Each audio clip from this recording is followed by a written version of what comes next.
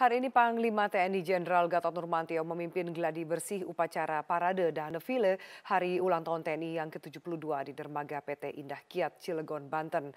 Acara ini merupakan peringatan HUT TNI terakhir Gatot Nurmantio sebagai Panglima TNI sebelum pensiun.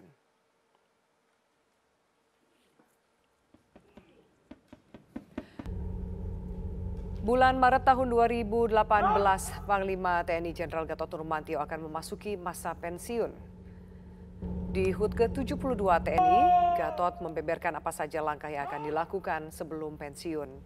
Ia mengatakan hal terpenting yang akan dilakukan adalah menyiapkan penggantinya sebaik mungkin. Selain itu ia juga menjelaskan bahwa dirinya pasti terjun ke politik namun bukan politik praktis. Gatot juga meminta maaf apabila selama melaksanakan tugasnya memiliki kesalahan baik pribadi maupun kesalahan yang dibuat anak buahnya.